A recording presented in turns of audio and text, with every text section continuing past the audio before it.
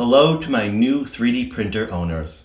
This year, due to the plummeting costs of 3D printing and the tremendous leaps in technology making 3D printing easier and more accessible to everyone, I would like to kindly remind you that a 3D printer is not a toy, it's a tool. It is not a Star Trek replicator. There are no patterns on memory cards that print Iron Man all by themselves.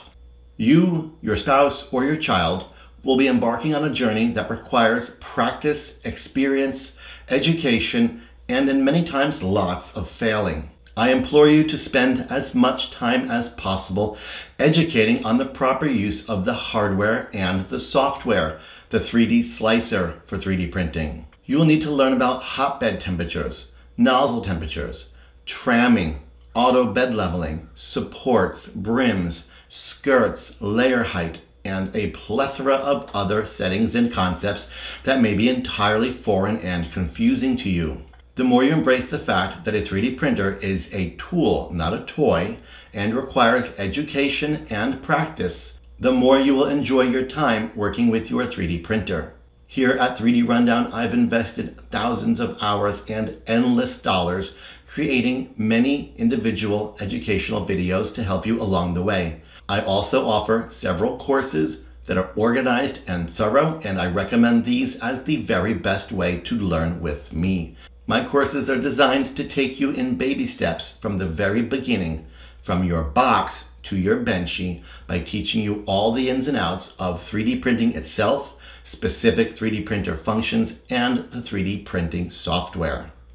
When it comes to 3D printing, a lot of you will struggle because you don't know what you don't know.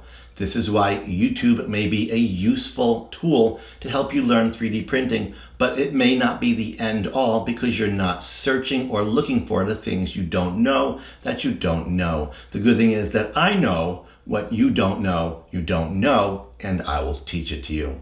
That said, please enjoy 3D printing, join groups, join forums, join my course, join YouTube, and spend as much time as you can learning and practicing 3D printing.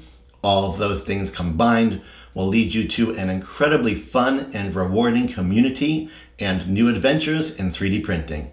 I'm Greg Adventure, your instructor across the internet for 3D printing, and this PSA to keep you from pulling your hair out with your new 3D printer was today's adventure.